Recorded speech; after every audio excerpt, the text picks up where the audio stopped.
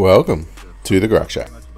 In this video, I'll show how to improve your in-car Pandora music streaming experience. So the configuration that this applies to is if you're running Pandora on your phone and you might select Pandora on your stereo, but it still talks to your phone to run Pandora on the phone, which streams the data via Bluetooth to your car.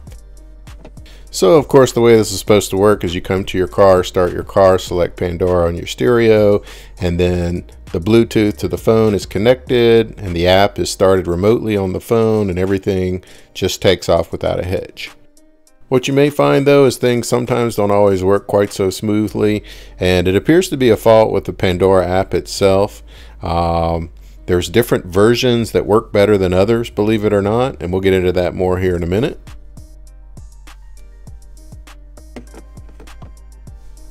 So for example, here in my Honda Odyssey, you can see it says no data. And this is basically a state it'll be stuck in. I'll have to manually exit out to the radio and come back to Pandora, and that may work. Also, if I start Pandora manually and sort of tee it up before I select Pandora on the stereo, that sometimes will get it to work. But of course, who wants to go through all these manual machinations every single time you get in your car, right?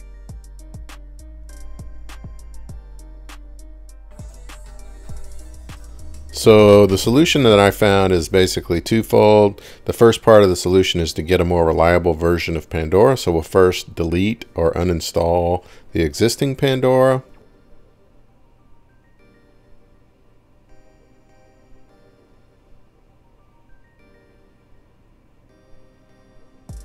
Next, to prevent Pandora from sending you another faulty app, we'll want to disable automatic app updates. So just go to the Google Play Store click on the hamburger icon there and then scroll down to settings.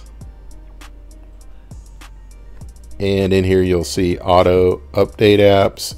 Make sure it's set to do not auto update apps.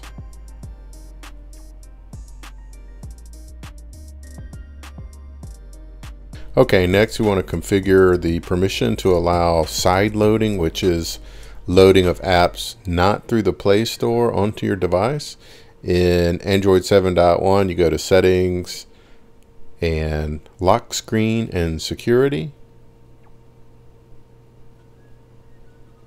And then you'll see a setting for unknown sources. You want to make sure that's slid to be on.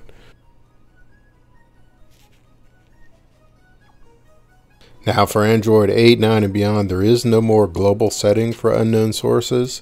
So instead, you have to set it per app. So go to your settings, apps and notifications, and then at the bottom, advanced.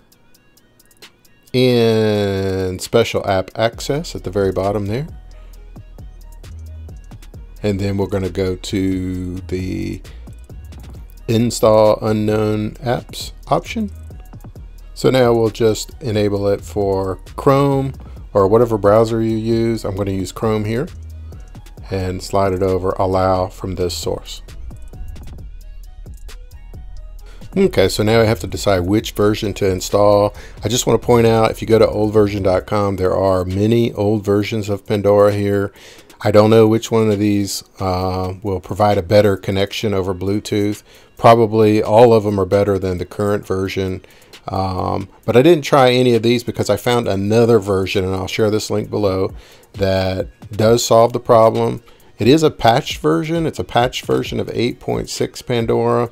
Someone's modified it so it shows no ads and you can download music. Um, but this probably won't last forever. They'll probably disable it at some point. If they do disable it, I'll do some more research, find another app that works, and I'll post up a link to that in the description or in the comments below. So now you just want to get your link to your phone. You can email it to yourself or text it to yourself, however you like to do it. Um, or open it if you're on your phone already into your browser. And then once it downloads, click open. If it doesn't open when you click open, just go to your notifications area and then tap on the APK that downloaded there. Let the deep scan finish. And once it's done, you'll get a prompt. Do you really, really want to install? Uh, it does not require any special access, which is cool. Just click install, of course. Now you can go ahead and click open and then you're going to have to re-log in. So hopefully you remember your login for Pandora.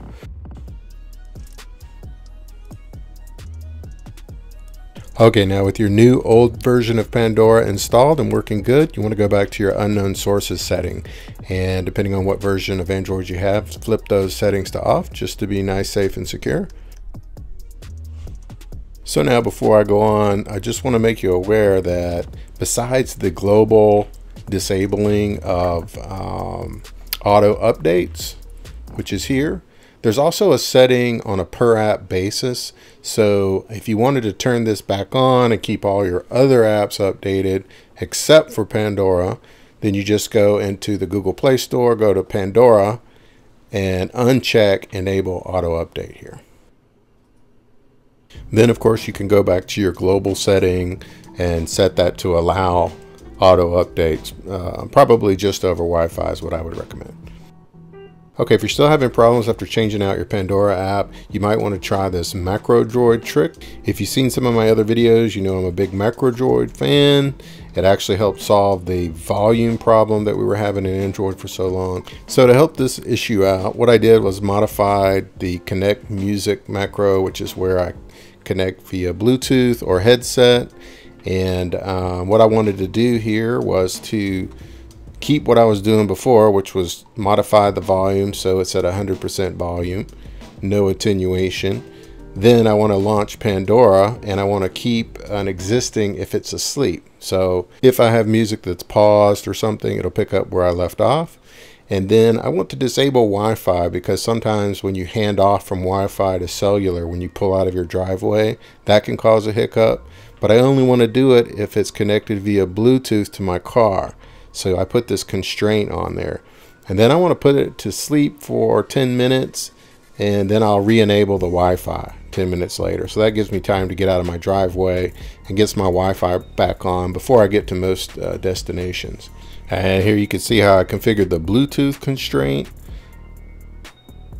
You want to select device connected, and then it'll show you a list of Bluetooth devices that you've connected to. The hands-free link is the only car I've got set up for right now. Of course, you can add more devices by using uh, an OR condition for that constraint.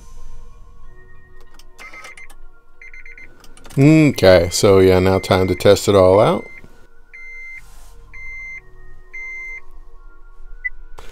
Moment of truth. Will he, won't he?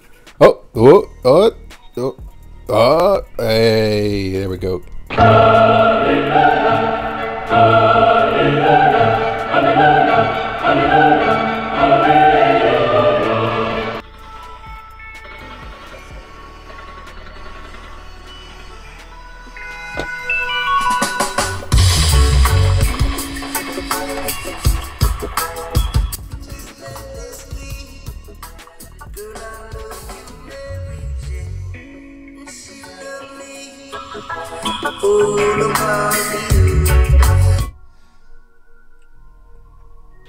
So that test went pretty well, which is starting out um, from off and going straight into Pandora. I'll do another test here, starting out in radio mode and switching over to Pandora.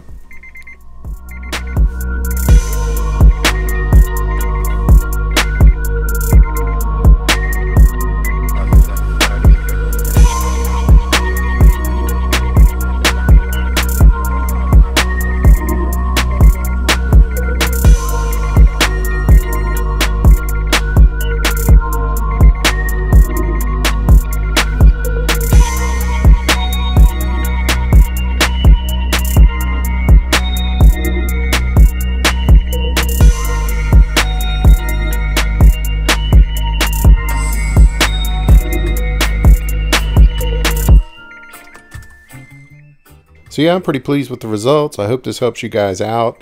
Um, if I come up with any more tricks or ideas, I'll post them up here and or produce a new video. That's how it's done. Thanks for watching.